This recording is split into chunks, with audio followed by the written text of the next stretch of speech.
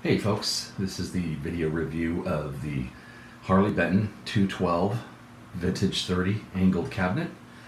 Um, I don't do a lot of reviews, but I do buy all my own gear, and this is not in any way sponsored.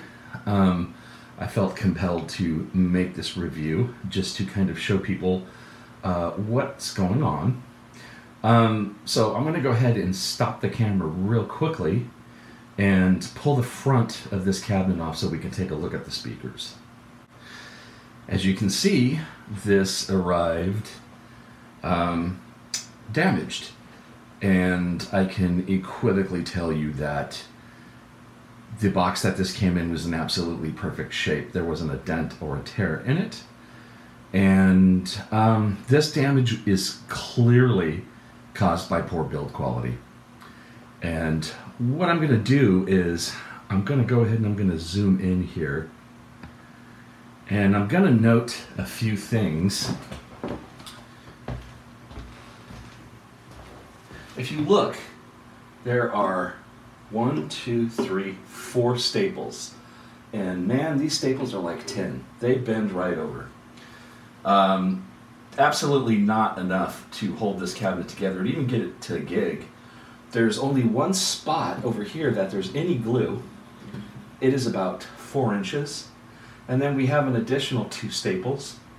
You can see that the Velcro here is stapled in and actually um, up here in the top corners, just pulling the grate off,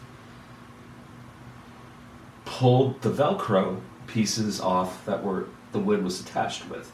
Uh, again, couple staples, no glue. Um, you can also see that the seam here, and I'm actually going to do some close-ups of these in a minute, more close-ups, is also completely separating from the unit.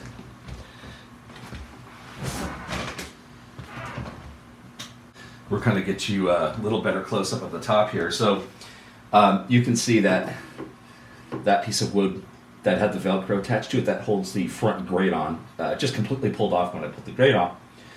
And you can also see probably clearer now that there's quite a big gap here. Um, again, this is all press board. It's all very poor quality.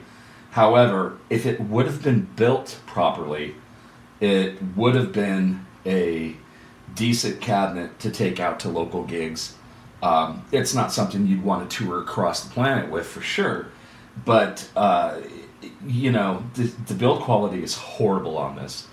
Um, the staples they bend. You push on them with your finger, they bend right over.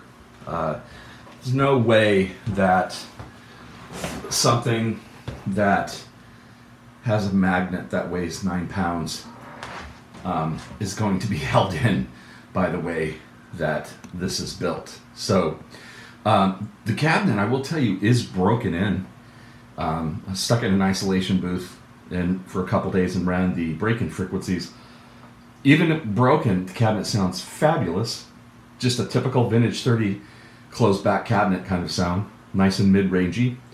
Um, I haven't pulled the speakers out yet to see if they're indeed vintage 30s. I'm assuming they are. The, from the front, they do look like they are.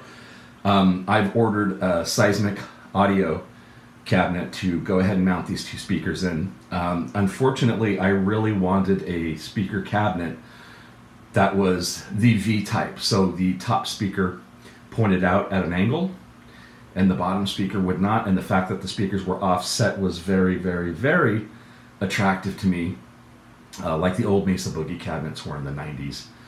Um, unfortunately, the thing is just built horrible. Now, that being said, I live in the United States. There's only one place you can get these cabinets from in the USA.